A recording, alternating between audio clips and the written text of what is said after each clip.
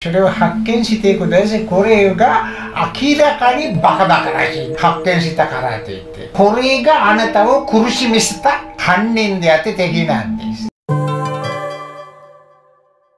10年の計画とかではなくて1日計画を立てましょうというお話があったと思うんですけどもこれは逆に言うと1日の計画は立てなくてはいけないというと。やっぱり立てなくてはいけないね。やっぱりいけどしっかりいけていた方がいいでしょ。だから1日で計画だからうまくいくかいかないかっていうのは分からないんだけど1日の場合は大体可能確率性がそれなりに高くはなりますしね。だから自分の目の前でキノコが現れるまで待つよりはキノコがあるのを書いて下がった方がいいんじゃない？だからこういう環境だったらこういう植物だったらキノコが現れるはずやと思って計画立ててだったらここら辺ちょっと歩いてみましょうと。キノコあったら取るそれで大成功。キノコなかったなかったら戻るそれだけです。別に大失敗ってわけじゃないんです。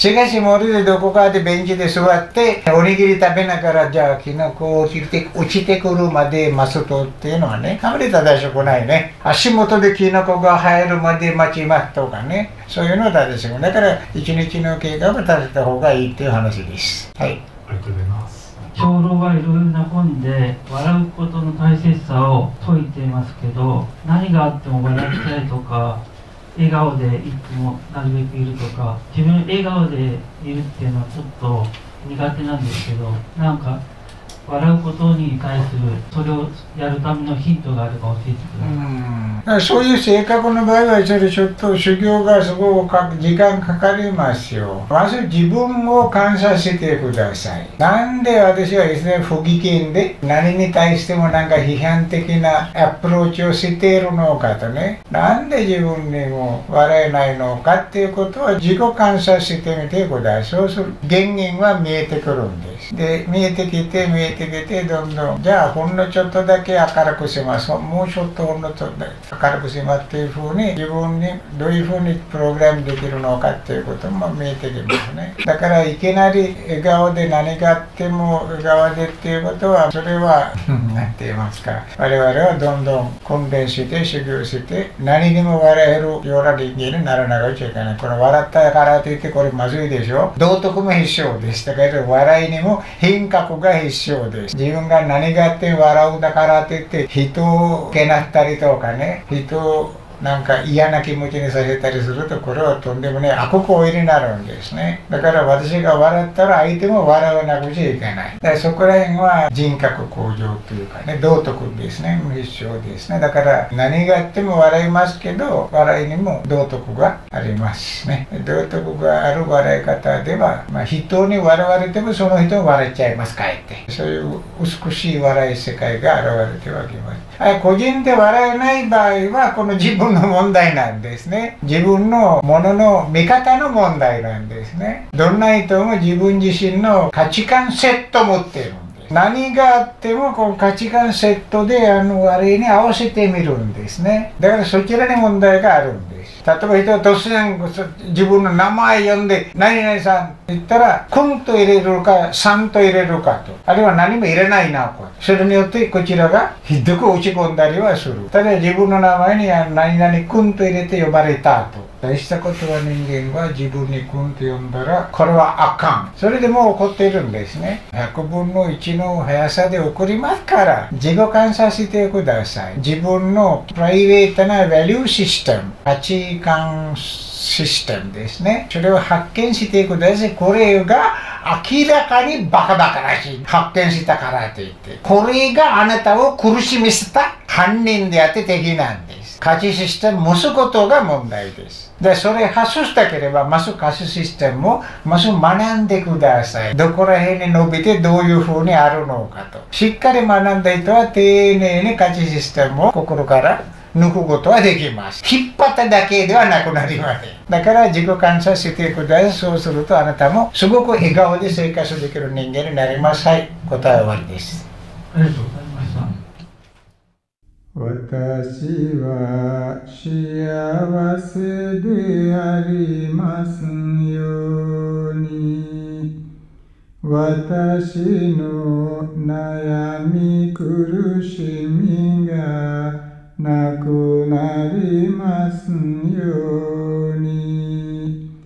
私の願い事が叶えられますように。私に悟りの光が現れますように。私は幸せでありますように。私は幸せでありますように。私は幸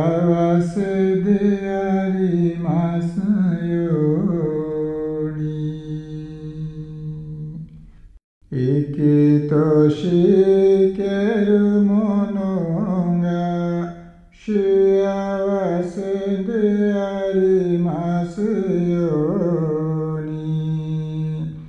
生きとしけるものの悩み苦しみがなくなりますように。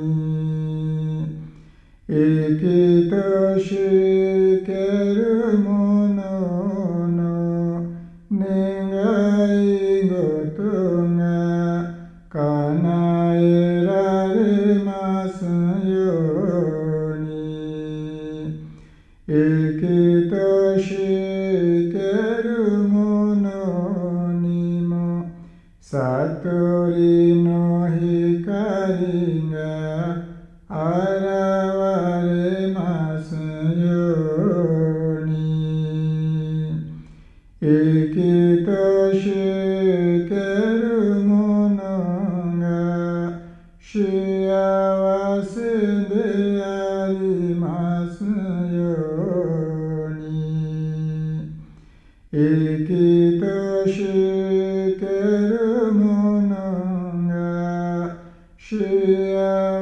幸